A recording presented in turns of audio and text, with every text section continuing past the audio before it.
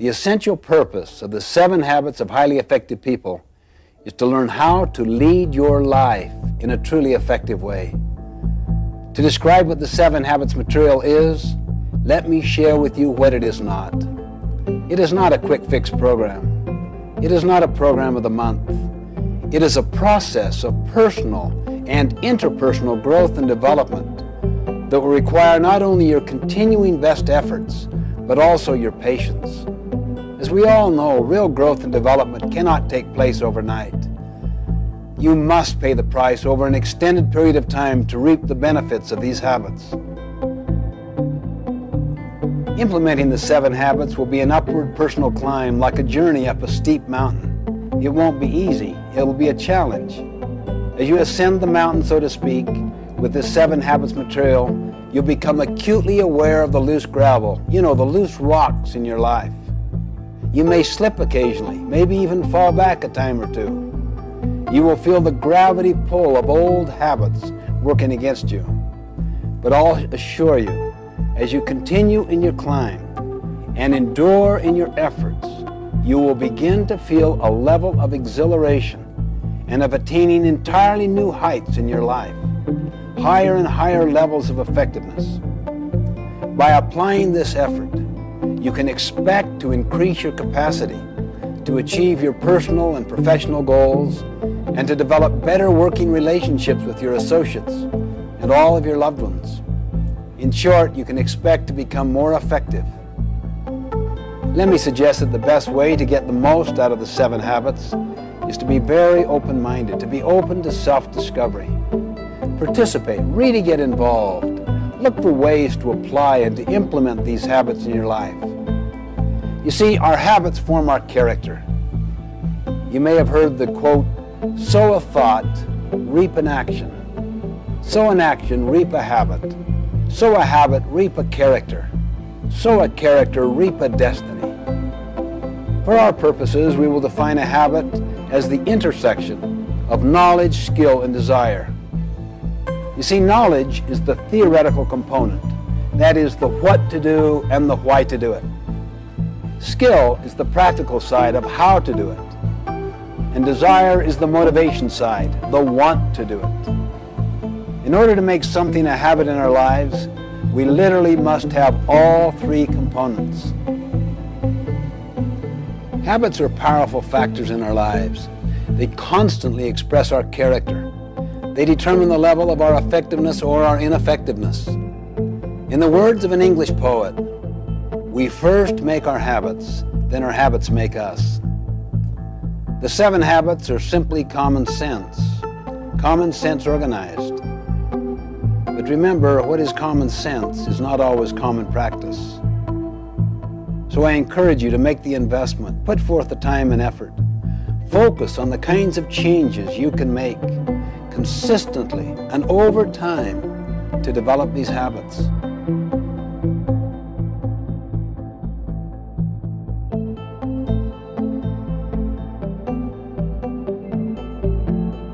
I wanted to study the success idea in America and how it evolved.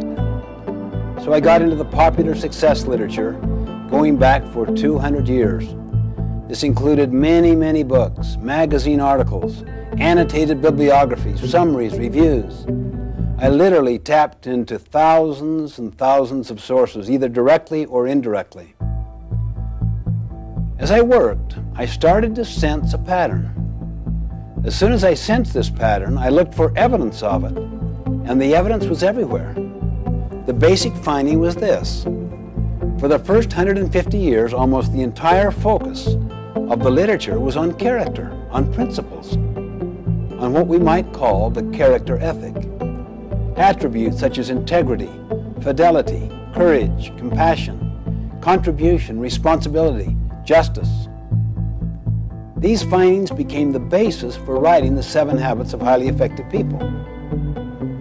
And then, because of many, many societal forces, the emphasis gradually shifted in the early 1900s, particularly in the 20s and the 30s, away from the character ethic to what we might call the personality ethic, which focused more on techniques than on principles.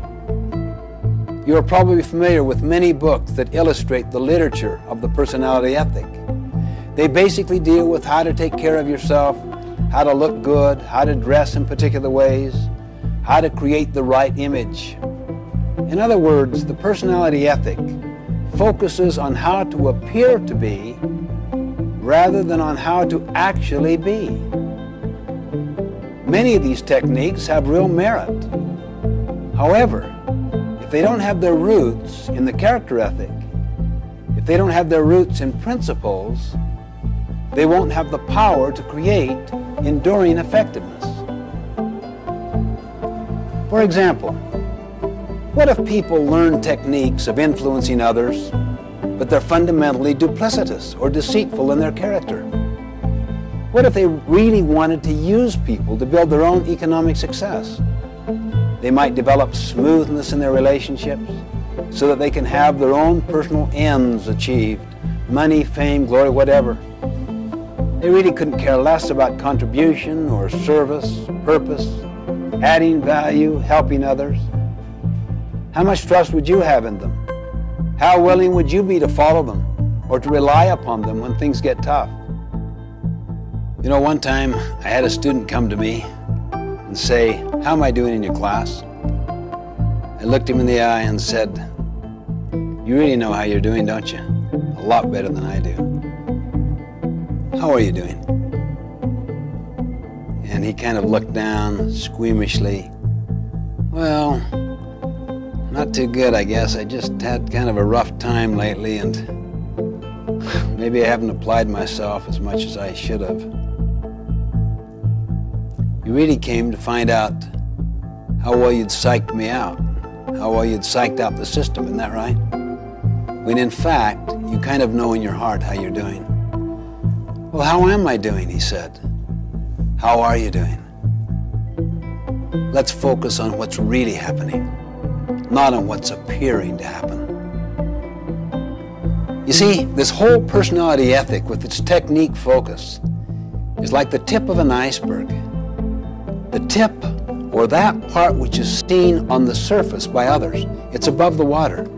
The character ethic is like the great mass of the iceberg under the water. People often do no work in the foundation where the great mass is, where the greatest long-term impact is. Too many people give all their energy and focus to the tip of the iceberg. That is to learning techniques that others can see. You see this even in organizations, not just individuals. You see programs change, practices change, principles do not change. If we help individuals and organizations to internalize principles, they will know how to adapt the practices to address specific situations. Let me emphasize that techniques have their place. They're very important. I really mean that. I mean, you want good human relations techniques, public relations techniques, communication techniques, management techniques. But when we use techniques to cover our own lack of character, they become manipulative. They undermine trust and confidence. You see, what we really need is the character ethic. And that's essentially what the Seven Habits is about. This material is based on an inside-out approach, meaning we give our first energies to our own character development before we focus on techniques or how to be more effective with others. Gandhi beautifully demonstrated this principle once. A mother came to him and said, would you help my child reduce the amount of sugar he is eating? Gandhi paused, thought, and answered, Well, talk to me in a week. A week later, the mother asked him again, and he talked to the boy, and the boy agreed. And the mother said, Why didn't you talk with him last week? Gandhi smiled and said, You don't understand. Last week, I too was eating sugar. Unless we work on our character, we will not develop trustworthiness. And trustworthiness is built by the combination of both character and competency. We could have all of the ability in the world, But if we don't have the basic character to be reliable, to take responsibility, others will soon learn to distrust us. They're fearing that we are just trying to meet our own ends, perhaps at their expense. In my opinion, unless we return to the character ethic, we won't have the basic foundation of trustworthiness. That's what leads to trust, which is needed to build effective interpersonal relationships. In the final analysis, what we are communicates far more eloquently than anything we say or do. I love the quote of Henry David Thoreau. For every thousand hacking at the leaves of evil, there is one striking at the root. In other words, let's work primarily on the roots to begin with and build a foundation of trustworthiness. This is one of the key areas of focus in the seven habits to build character and competence and to restore trustworthiness and trust in our lives, in the lives of our families, our organizations. Trust and trustworthiness really are the basis of personal and interpersonal leadership. It's the foundation of all true effectiveness.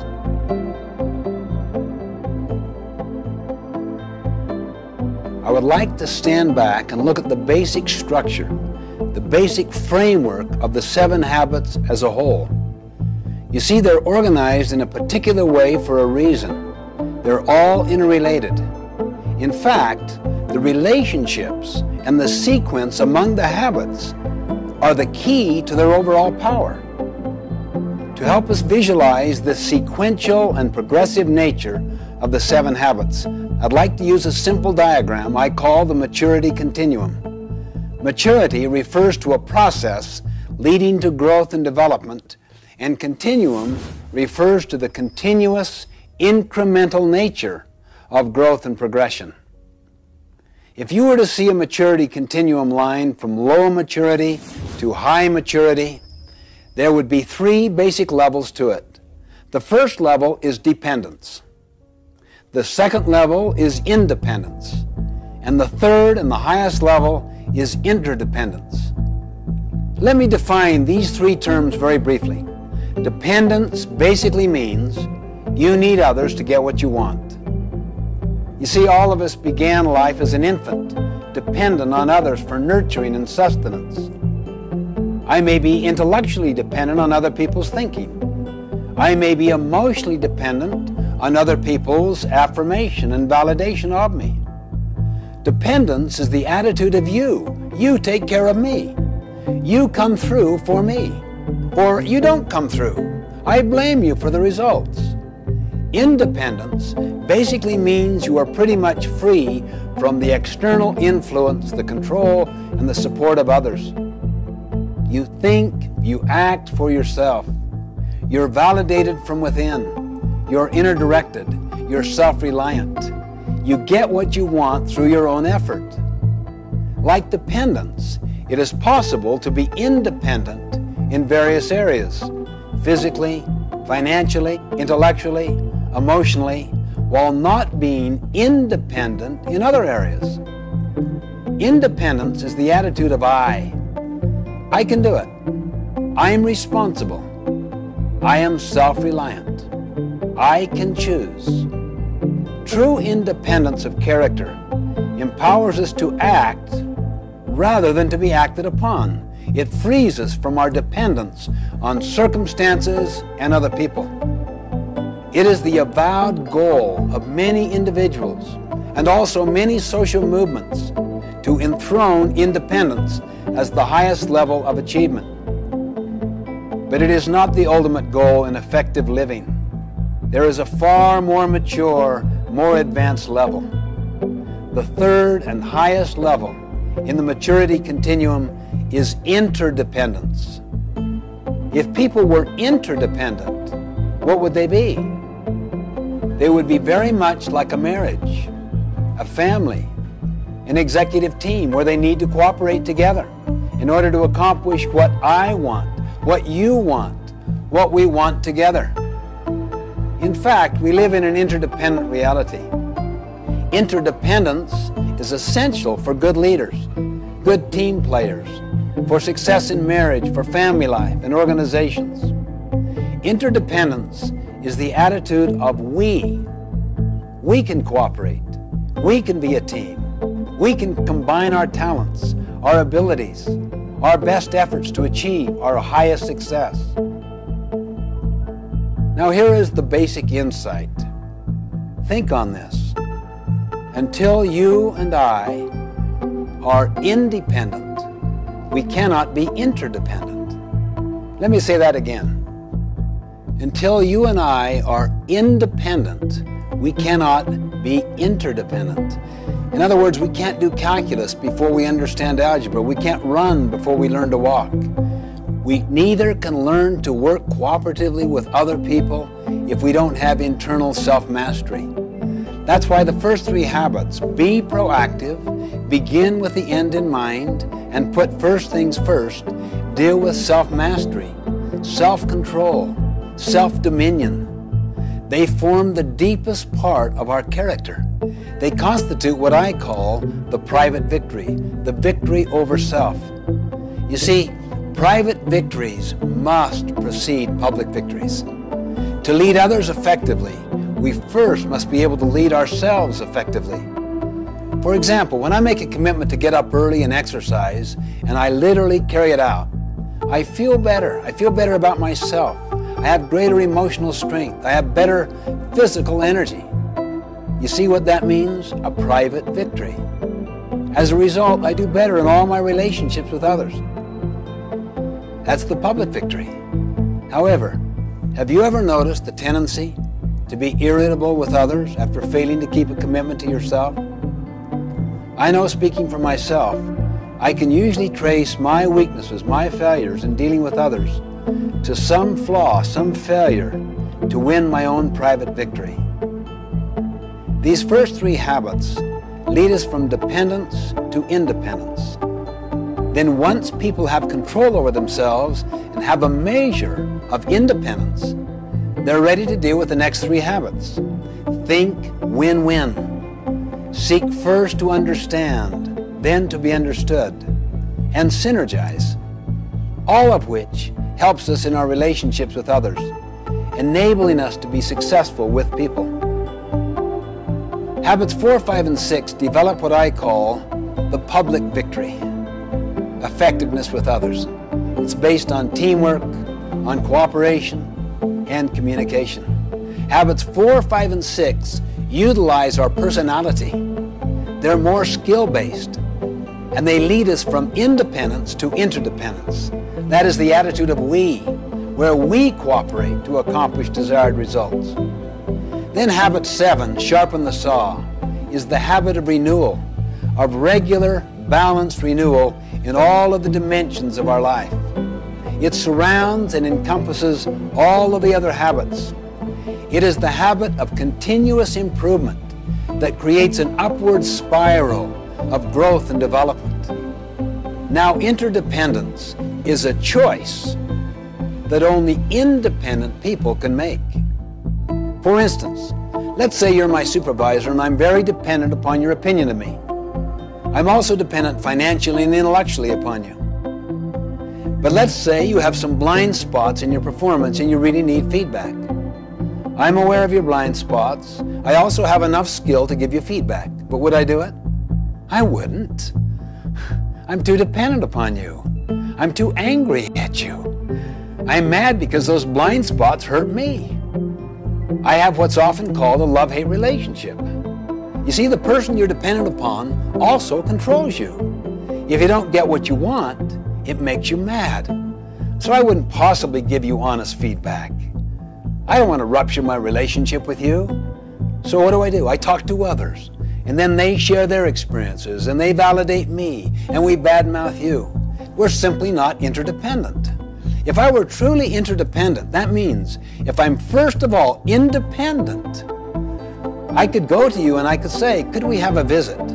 I would like to share some of my concerns. But if you were dependent yourself and used to borrowing strength from your position power, you might try to intimidate me. You might say, well, what is it, Stephen? Let's get to it right now. What are your concerns? On the other hand, if I'm emotionally and intellectually independent from you, I could be courageous and kind at the same time. I'm patient. I don't give up, but I don't give in. I could say, we need a little more time where we're not going to be interrupted. Let's do it at our mutual convenience. You would sense that you're dealing with a person of integrity, of power, of strength, of courage.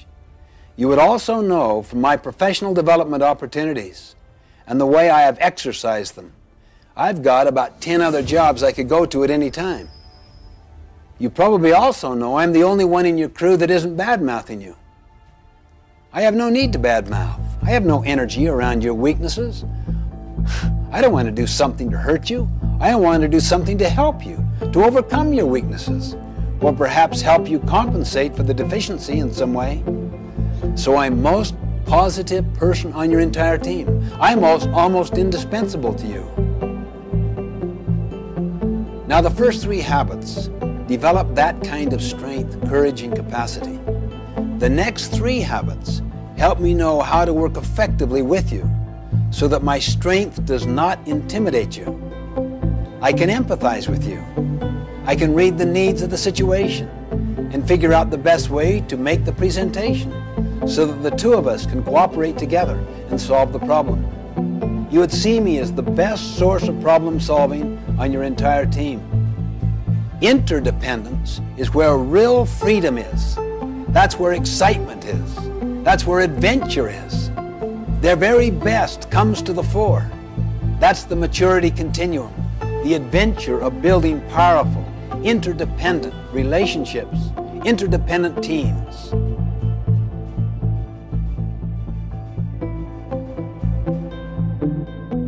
Brief overview of each of the habits. It's like getting a kind of airplane view of the whole mountain range before we go down to explore the detail. Habit one, be proactive, basically means that your life is a product of your values, not your feelings.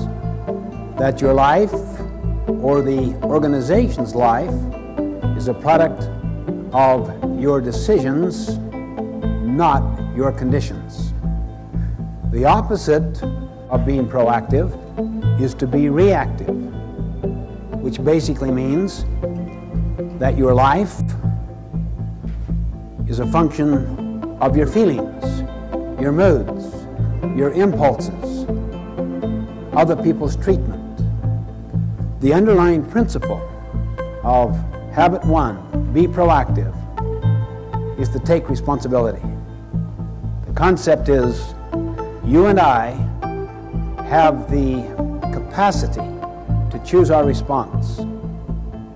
Habit two, begin with the end in mind, basically means that all things are created twice. And habit two is the first creation. Habit two, begin with the end in mind, means that you get a mental image, a picture of where you want to end up in this meeting, in this relationship,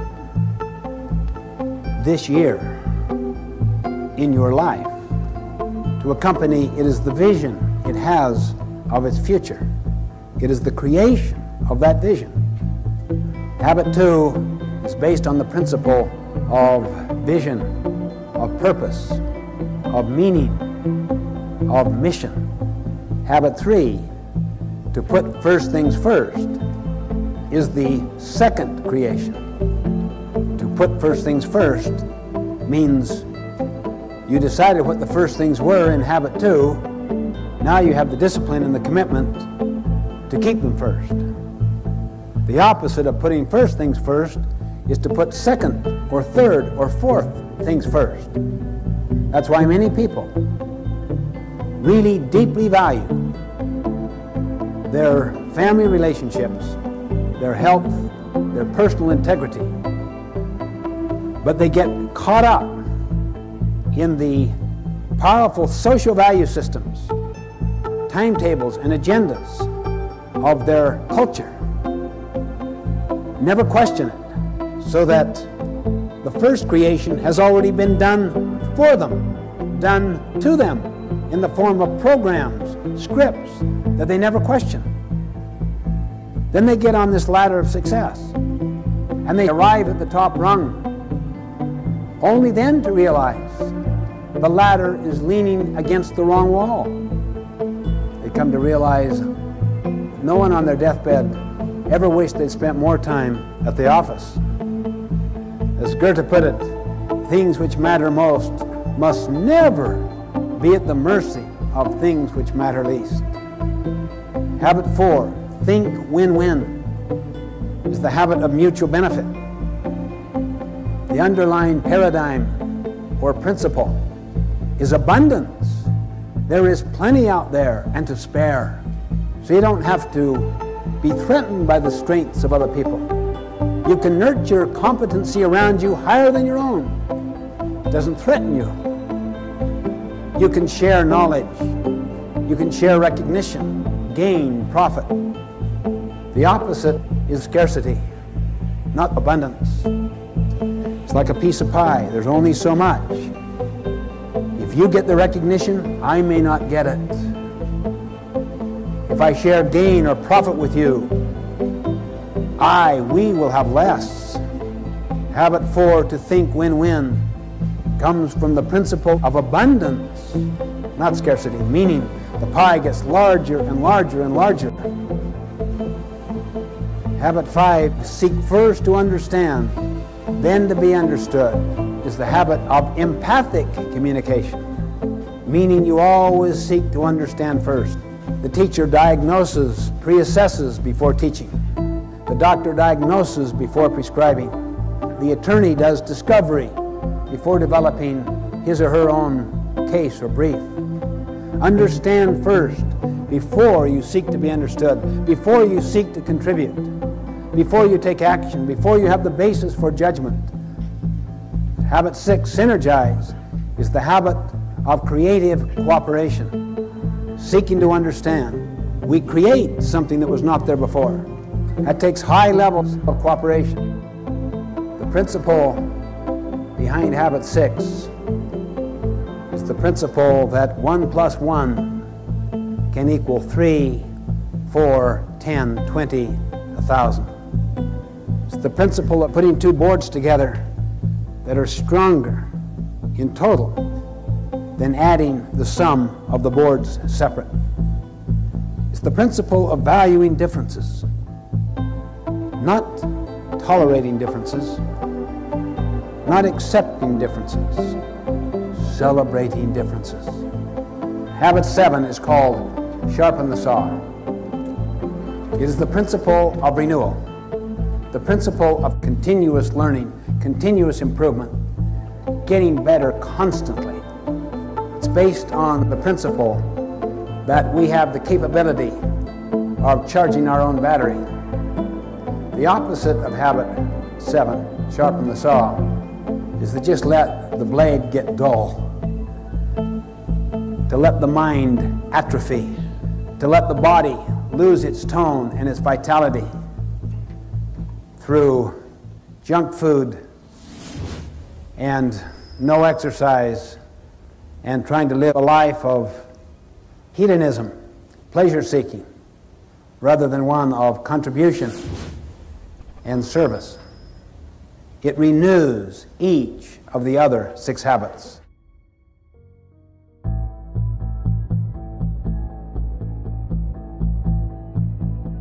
The three person process is this the best way to learn something is to teach it.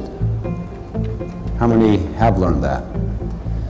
How many have learned that when you really teach is when you really learn? In five minutes, you will be teaching what I'm teaching you in the next five minutes. See yourself now as a teacher. I'm going to briefly describe the three-person process and the four benefits that come from the three-person process. Now, notice your behavior right now. See, you don't see yourself as a kind of passive learner. You see yourself as an active teacher. You're just preparing to teach. And that significantly increases your learning. That is the first benefit. The first person teaches, the second person first captures, understands, then evaluates to see if it makes sense, thinks about application, and then teaches the third person. Then that person teaches another person. This way you can take material and cascade it through an entire organization. Second benefit.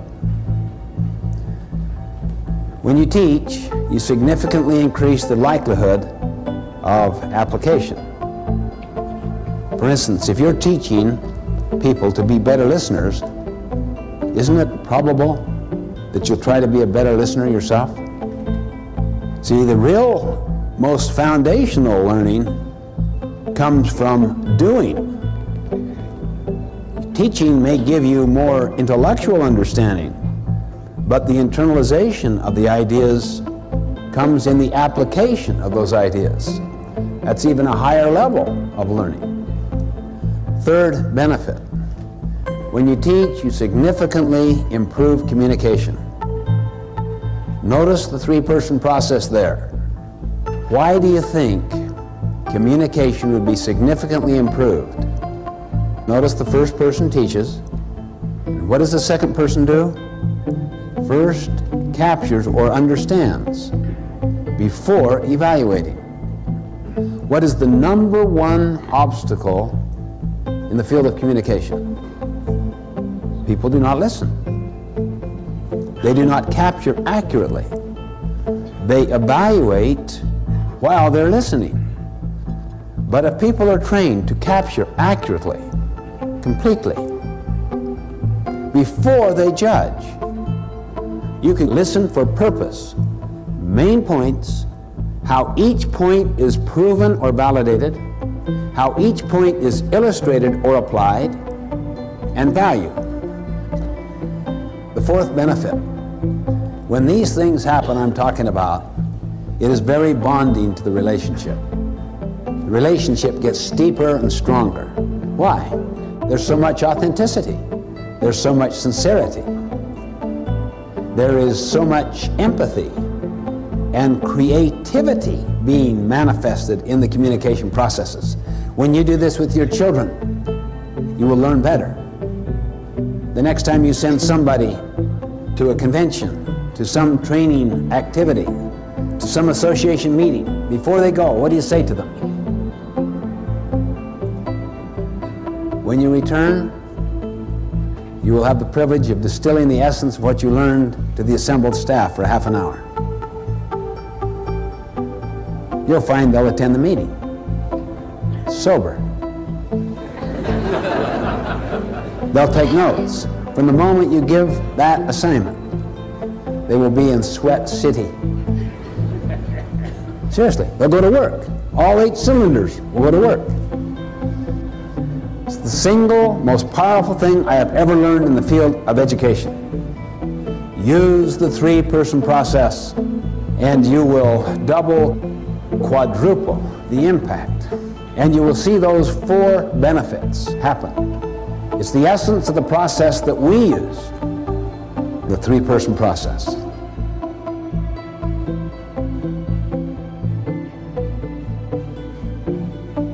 We have to realize that it is all based upon principles, upon natural laws.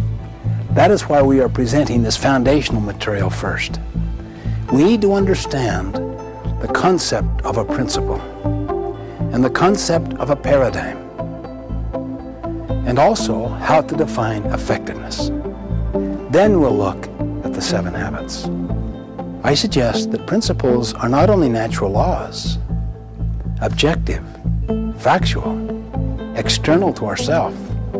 I suggest they are also self-evident. How would we know that? We have found that if you can get enough people interacting freely and synergistically who are informed, all the value systems are the same. We find that regardless of one's background, religion, culture, nationality, race, gender, regardless of the level in the organization, regardless of the industry or the profession, the same underlying values are universal. They represent what we could call principles. There is consensus that surrounds them, such as integrity, service, contribution, the growth and development of people, kindness, how you treat people, dignity, fairness. These are universals. Every one of the habits represents a principle, a fundamental natural law that is self-evident. Now, let me just give an illustration of the difference between a social value and principles. It was a dark and stormy night. Captain, Captain, Captain, wake up. Uh, what is it? Sorry to awaken you, sir, but we have a serious problem. And we've tried to solve it and can't. What's the problem? There's a ship in our sea lane about 20 miles away that refuses to move. Well, what do you mean they refuse? Just tell them to move. We have, sir. That's the problem. They won't respond. I'll tell them. The signal goes out. Move starboard 20 degrees. The signal comes back. Move starboard 20 degrees yourself. What arrogance. Who is this guy? He doesn't know who I am. Let him know a captain is giving the command. The signal goes out. This is Captain Horatio Hornblower, the 16th. Move starboard 20 degrees at once. The signal comes back. This is Seaman Carl Jones, the third. Move starboard 20 degrees at once yourself. This is a command. A seaman commanding me, a captain. I can't believe this. What is going on? Let them know who are. We're a battleship. We could just blow them out. The signal goes out. This is the mighty Missouri, flagship of the Seventh Fleet. Signal returns. This is the lighthouse. you see, lighthouses are like principles. We don't break them. We break ourselves against them. This is why humility is the mother of all other virtues. Openness, teachability, humility, awareness of external realities. If you can cultivate that and apply it with other people, you'll change the whole nature of the culture. It'll become a principle-centered culture, not one driven by social values. I had a friend of mine who said, our company is value-driven. I said, every company is value-driven. Hitler was value-driven. The question is, are the values in alignment with principles? That is a humbling question. Are my values and my habits in alignment with principles, with natural laws? Now, when principles and values are aligned, then you could use the words interchangeably. You could call it values or principles, it would make no difference. So you don't want to get hung up semantically on the difference. But if, if they are not aligned, then it's better to see what the principle is and what the established value is, and then work here to align it.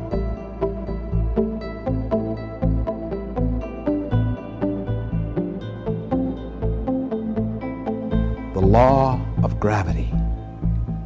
Gradually, the whole world has come to accept that. The apple falling out of the tree and hitting the scientist's head. Simple observation. The law of gravity governs. What if you had a legislature trying to repeal the law of gravity? A principle is the actual reality, like the law of gravity, the way things are. How many here, when you were in school, did a lot of cramming? Be honest now. How many got really good at it? How many here have ever worked on a farm? Ever cram on the farm? I don't mean just work hard at the end to bring in the harvest. I mean forget to plant in the spring, flake off all summer, and then really work hard in the end to bring in the harvest. Well, it's patently foolish. We know that. Why? Because a farm is a natural system and is governed by what? Principles or social values? Principles. What about the development of our mind? What would you say?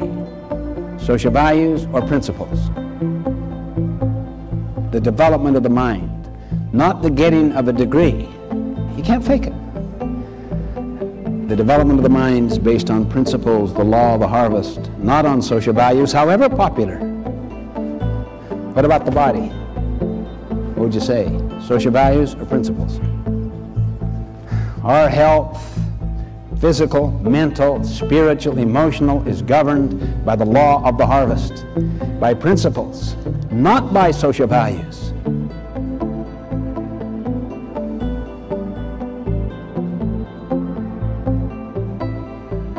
Everything that I've been talking about is not easily achievable.